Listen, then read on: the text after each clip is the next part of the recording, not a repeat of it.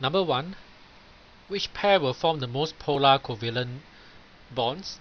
The most polar bonds will be formed when they have the greatest difference in electronegativity. So if you compare the halogens, the most electronegative will be fluorine, the least electronegative will be iodine. So a pairing between fluorine and iodine will be the most polar bond.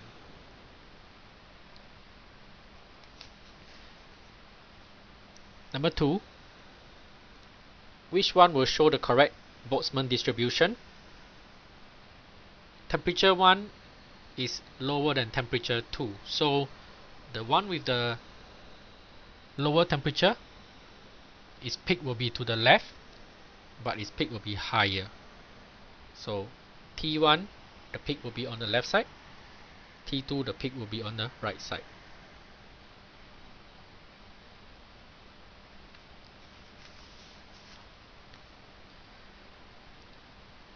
Number three, cesium chloride has this lattice, sodium chloride and magnesium oxide has this lattice. So what appears to determine the type of lattice? The charge on the cation. For cesium, the charge is plus 1. If it depends on the charge of the cation, then it should have the same lattice as sodium, which is also plus 1. However, it's not the same for cesium and sodium. So the charge on the cation doesn't determine the lattice structure. Ratio of the ionic charges. These are the charges. Okay, if the ratio is actually all 1 is to 1. Okay, if we simplify magnesium 2 plus to oxide 2 minus, it still simplifies to 1 is to 1. So all of them are 1 is to 1. So that will not make them that that would not be the reason why they have different lattice. The ratio of the ionic radii, we have the numbers here, the ionic radii. So we take the positive radii over the negative uh, radii for all three of them. So the radius for the cesium is 167 and 18 over 187. We get 1 0.9 magnesium oxide 0.5 sodium chloride we get 0.56 we can see that sodium chloride and magnesium oxide are pretty close as compared to cesium chloride. So this could be a reason why these two have the same structure whereas cesium chloride has a different structure from the other two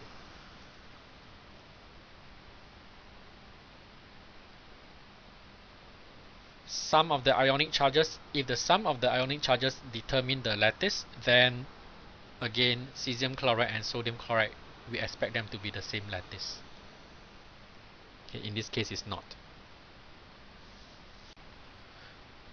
Number four. Enthalpy change of this reaction. If you are given bond energy the general uh, equation is bond energy of reactants subtract bond energy of products. You get the enthalpy change. So breaking of bonds, we break the CO bond, we break two of the hydrogen covalent bonds, and then forming of products, we have three CH bonds form, one CO bond form, and one OH bond form. So the three numbers are here, and we use our calculator, we will have minus 101 kilojoules um, exothermic reaction.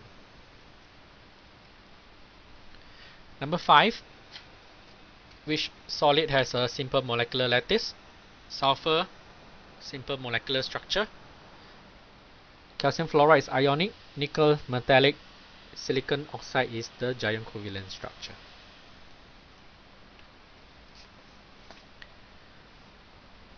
number 6 activation energy of the forward reaction is represented by the difference between this level and this peak. So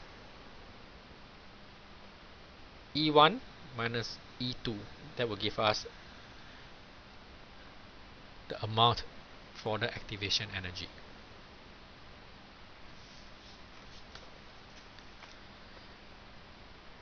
Number 7 we have helium and neon connected by connected together and then we want the final pressure when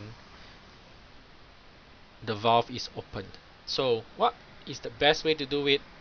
I believe is we visualize each individual gases pressure on their own first.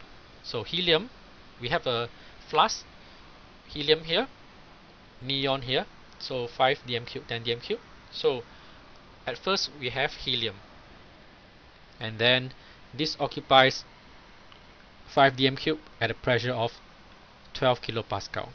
And then when we mix them to we allow it to expand it occupies actually a total of 15 dm cube. So what we have to do is use this equation PV at the start equals to PV at the end just for helium alone. So 12 times 5 which is the amount at the start we don't know the pressure at the end but we know that the volume at the end for helium is 15 so this is the only unknown. We work out that the new pressure or the final pressure of helium is 4 kilopascal. That's for helium. We repeat the method for neon. So neon at the start is 10 and exerts a pressure of 6 kilopascal. Is allowed to expand into the other flask so that it occupies 15 in the end. So that the new pressure for neon alone is 4 kilopascal. Okay. They do not necessarily have to be the same. It depends on the amount but just in this case the numbers make it such so that they are the same. So we have helium exerting 4 kilopascal. We have neon exerting 4 kilopascal. The total we just sum them up we will have a total of 8 kilopascal.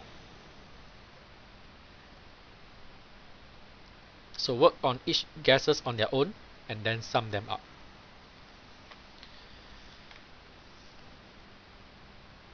Number 8 we have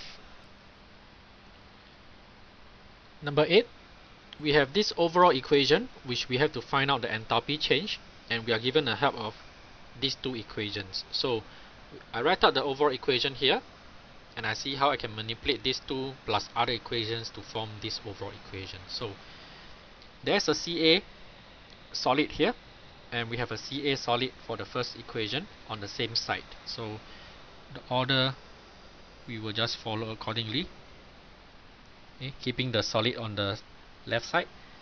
And since we follow this order this number we do not flip it around it's plus 177 it will still be plus 177 if we change the order then it will be minus 177 so we have this calcium solid accounted for. We have calcium equals 2 plus here. We have calcium equals 2 plus on the right side also. So again we will follow the order that is given for the second equation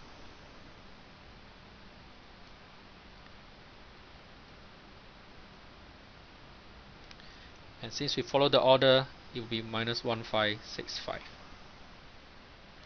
there's still some missing information. This is aqueous. There's still some missing information. We do not have electrons appearing. And in the overall equation we do not have calcium gas or calcium 2 plus gas appearing also. So what we need to do is get rid of the calcium 2 plus and get rid of the calcium gas. How we do that? We write the third equation that is on the opposite side. Meaning calcium gas is on the right side. We get rid of it by writing calcium gas on left side of the equation. Calcium 2 plus is on this side. We get rid of it by writing calcium 2 plus on the other side so they will cancel out eventually and not appear in the overall equation. And then we have two electrons on the overall equation. Okay, I can write it out like this. What is this actually? Calcium gas losing two electrons forming calcium 2 plus ions. They are gases. This is the first IE plus second IE of calcium that is found in the data booklet. Remove a calcium or remove an electron. The first one will require 590. The second one will require 1150. So we sum them up. Endothermic reaction. So plus 590 plus 1150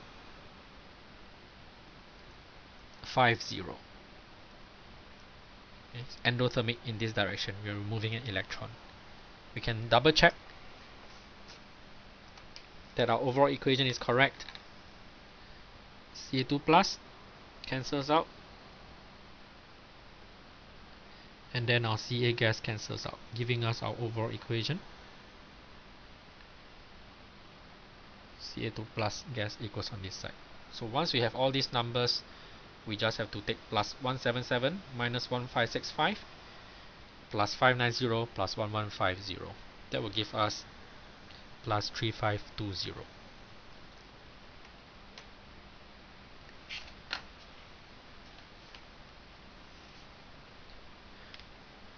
Number 9.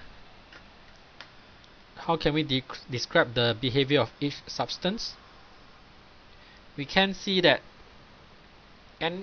NHNO3 actually gains a hydrogen to form a new product. H2SO4 loses a hydrogen. So gaining hydrogen or gaining a proton is behaving like a base. H2SO4 losing hydrogen, a proton is behaving like an acid. The reverse, H2 NO3 plus to go backwards it has to lose a proton. So now it's behaving like an acid and HSO4 minus to become H2SO4 it has to gain a proton. That's when it behaves like a base.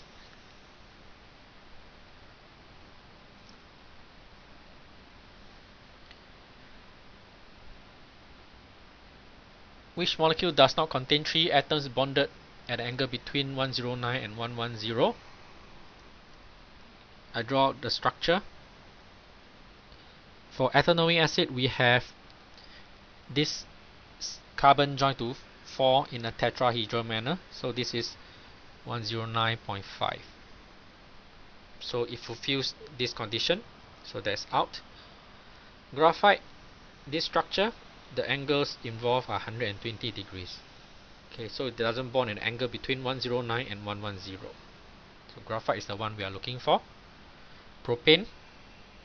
If you were to check is tetrahedral so it's 109.5 silicon dioxide is tetrahedral giant covalent 109.5 so B is the answer